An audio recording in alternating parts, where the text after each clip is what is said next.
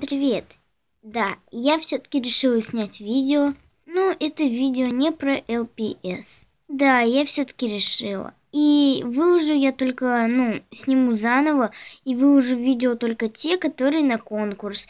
Я не буду снимать очень долго или вообще не буду снимать.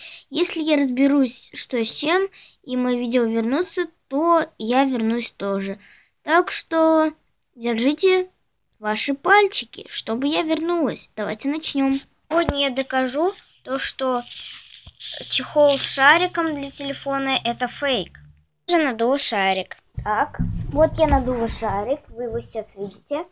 И я обтяну мамин старый телефон. Но если получится. Прикладываю.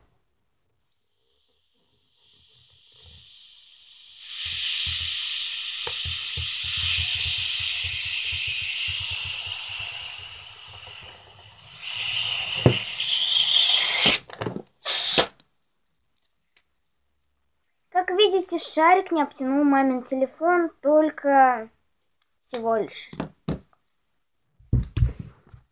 Я попробую еще раз, и меня слегка оглушило, так как шарик порвался. Ребят, конечно, это не фейк. Это все работает. Шарик можно установить как чехол, но это ненадежно, и он может просто соскользнуть или даже порваться.